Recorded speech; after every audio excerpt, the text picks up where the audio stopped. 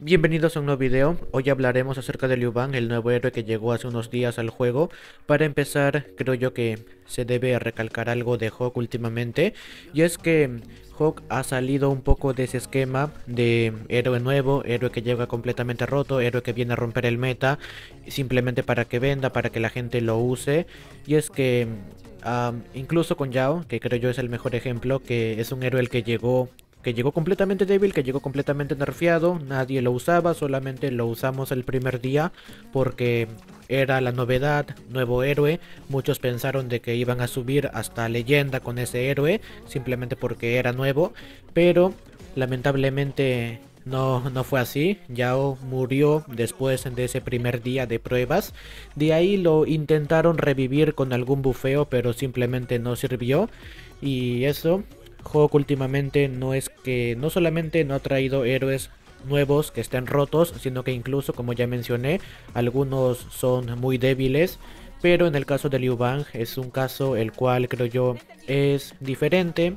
al resto porque creo yo que Liu Bang es el héroe más balanceado que llegó últimamente porque por ahí sí ya, al menos para mí sí estaba decente, está balanceado pero sé que para algunos puede que se les haga un héroe completamente roto, un héroe completamente fuerte, pero pues eso, Liu Bang está más balanceado diría yo, e incluso puede que algunos lo vean o lo perciban como héroe débil, que no hace nada porque lamentablemente Liu Bang va a pecar de ser un héroe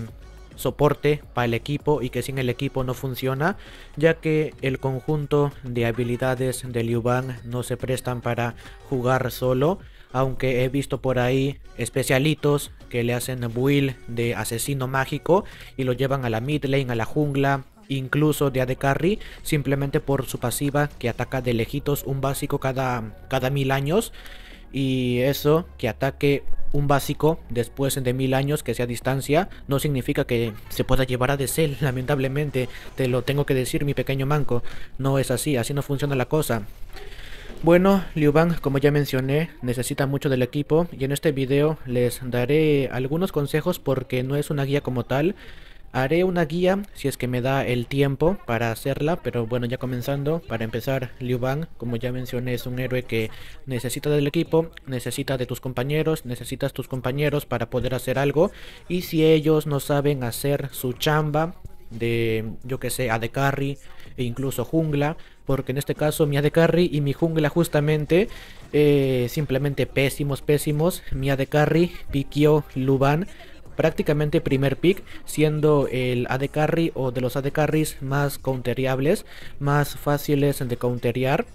Y pues lo piqué de primer pick, así que obviamente por ahí le hicieron algún counter con ese Alain. También mi jungla, Lanling, héroe que puede que muchos no sepan que no es un hipercarry. Lamento romperte las ilusiones, lamento romperte esos sueños de carrear en late con Lanling. No, si es que tú llegas a late con Lanling,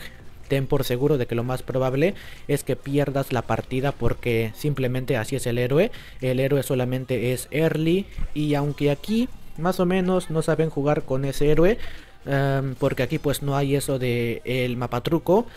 Aquí no hay su counter, por así decirlo, al Batman. Pues igualmente tu invisibilidad no es suficiente para, para, para compensar ese, ese late horrible en el cual prácticamente si un soporte cubre a su AD Carry con un escudo o con simplemente el curar, literalmente no lo matas. Pero ya hablando de Liu Bang, como mencioné en esta partida, el equipo deja mucho que desear. Verán al principio de que Liu Bang es un héroe el cual sí hace cosas. Al principio se nota más porque en late ya te rompen el escudo fácilmente. Así que es un poquito complicado. Es muy complicado jugar en late con la ultimate de Liu Bang. También porque el escudo no sé si será, si para ustedes será poco porque para mí es poco el escudo que da pero sí que demora en cargar porque ya ven que después de un tiempo el escudo va aumentando, pero siento yo que demora demasiado en, aumentar hasta la cantidad máxima, pero bueno ya Ahora sí, para empezar con Liu Bang, tú primero tienes que saber que este héroe no es AD Carry, no es mid laner, a lo mucho puede ser jungla y top lane, pero siento yo que mi top de posiciones recomendadas para Liu Bang, la primera está peleada entre soporte y tanque porque en resumidas cuentas, en ambos roles puedes farmear, entre comillas, de una manera segura. En la jungla farmeas experiencia y oro y en soporte simplemente experiencia por el ítem de soporte pero lo que tiene es que este héroe es omnipresente prácticamente en todo el mapa es mucho es demasiado la presencia que tiene con la ultimate porque para el que no lo sepa la ultimate literal le pone un escudo a tu compañero le pone un escudo al aliado que selecciones, esté donde esté, esté en tu fuente, esté en la fuente enemiga, da igual. Y después de un tiempo, Liu Bang va, va a ese sitio y en resumen el 1 contra 1 lo convierte en 2 contra 2, así que por ese aspecto tú puedes usar la ultimate de Liu Bang tanto de manera defensiva como ofensiva, ya sea para ayudar a tu AD Carry a escapar o para voltear esa pelea, para voltear ese 1 contra 1. Pero ya sea que juegues en la top lane de soporte o en la jungla, igualmente Liu Bang es, es simplemente ver el mapa con otros héroes tú puedes ver tu pantalla, ver la línea, ver lo que tienes delante, pero con Liu Bang es al revés. No, primero debes ver el mapa, luego debes ver tu línea, luego debes ver lo que tienes adelante, al menos en las ocasiones o situaciones en las cuales tú no estés participando en la pelea directamente o no estés intentando pokear, desgastar con la pasiva, con la primera habilidad, y es que sí, Liu Bang para eso tiene, bueno, por así decirlo, tiene ese aspecto que puede hacer vaya bien o que rinda en la top lane. Pero igualmente siento yo que de nuevo mis mejores posiciones son las de jungla y soporte. Soporte porque, bueno, acá entro en un tema en el cual, el cual es muy controversial diría yo que lamentablemente también siento yo que si no lo explico nadie más lo va a hacer, ni un pro player. Y es que haré un video más en profundidad de esto, pero bueno, comencemos con esa con esa pregunta de el soporte va al medio o se queda con el AD carry como niñera. Para empezar, eso depende de la situación, depende del soporte, depende también un poco del mid laner, porque en general en el medio, en esa línea, lo que premia es la capacidad de limpiar wave, de limpiar la línea completamente o lo más rápido posible para rotar, para invadir, para ayudar, para empezar a jugar, no para pues quedarte ahí y seguir farmeando. No, en este caso Liu Bang contribuye con capacidad de farmeo, capacidad de limpiar rápido la wave por la pasiva que puede ser en área, también eh, el escudo de la primera habilidad y en resumen Liu Bang aporta mucho a la limpieza de la wave, así que Liu Bang en este caso puede ir o debe ir mejor dicho a mid lane al principio para ayudar yo que sea esa mi lady o yo que sea esa Ángela, o yo que sea esa de allí, héroes que no limpian fácilmente la línea a pesar de que tengan habilidades de daño en área. Igualmente sus cooldowns son altos y créeme que va a ser una diferencia, va a ser una gran diferencia que tú como Liu Bang, como soporte que puede limpiar, que puede aportar a la capacidad de limpieza de waves, va a aportar mucho de que tú vayas al medio al principio, de que tú vayas a limpiar rápido con tu mid laner la línea para luego rotar e invadir lo que ya dije. Y ese es el resumen, todavía hay algunos temas que tratar porque no, no siempre va a ser así, también depende de tu estrategia, depende de lo que quieras hacer en la partida, de si solamente quieres, yo que sé, farmear bajo torre, defenderte hasta llegar al late porque piqueaste, yo que sé, el Liu, Bang, que digo, Luban, Diao Chan, yo que sé también... Eh, tu Heino top lane, héroes que tienen que llegar a late y no pueden pelear en early, pero déjame decirte que lo más recomendable e incluso si es que eres inteligente y ves competitivo, pues es lo que se hace. El soporte va a mid lane y simplemente limpian rápido y rotan y empiezan a jugar la partida, empiezan a jugar el juego. Con respecto al buildeo y la manera de jugar de Liu Bang es Em, diferente en cada partida porque la verdad Liu Bang bueno, si bien su forma de jugar no cambia, debes de jugar relajado hasta llegar a nivel 4 y a partir de nivel 4, a partir de sacar la ultimate, debes eso, mirar el mapa completamente todo el tiempo y simplemente esperar el momento, esperar a que tu AD Carry atraiga o haga de carnada al jungla enemigo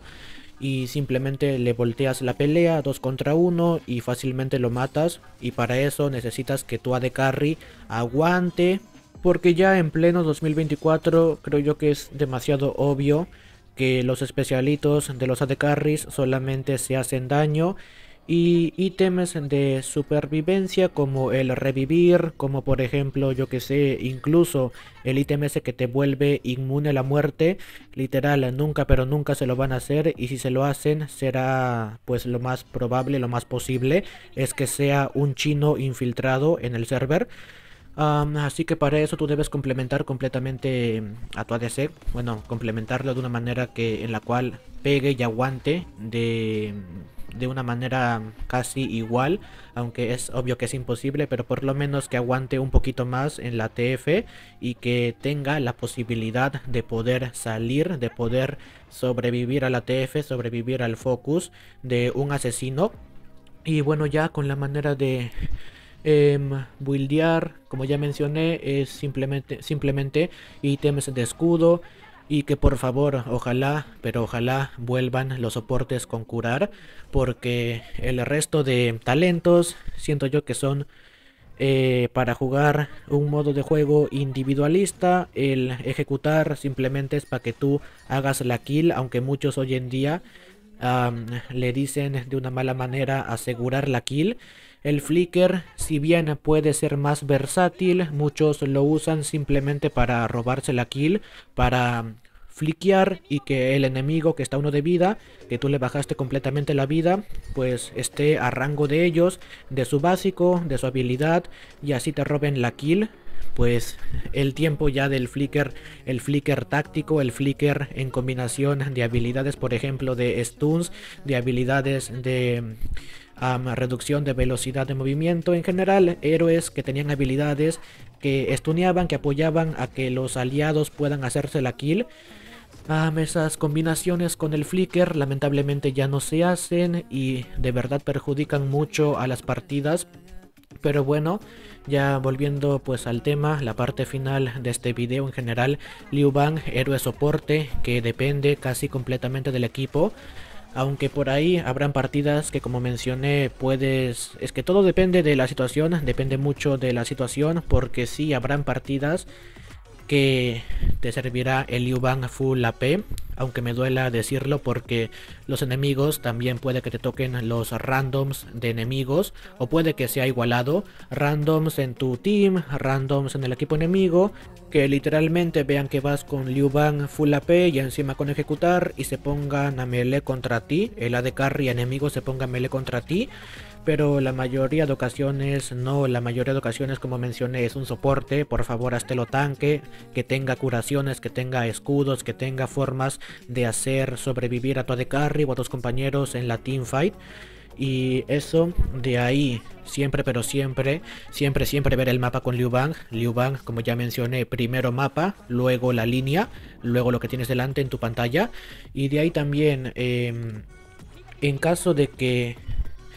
el jungla enemigo le falte daño y sea melee, también recuerda que tú puedes hacer parte de ese daño que le falta con la ultimate porque si la cancelas antes el escudo del aliado explota y hace daño mágico y también te mejora tu segunda habilidad. No debes castearla o no hay necesidad no hay necesidad de castearla por mucho tiempo para que tenga el máximo rango sino que ya viene con el máximo rango en el siguiente uso. Y la primera habilidad también recuerda que es daño tu pasiva también es daño. A pesar de que lo lleves tanque igualmente a los AD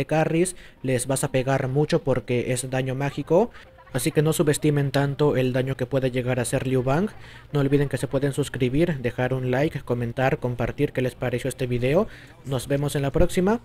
Chao.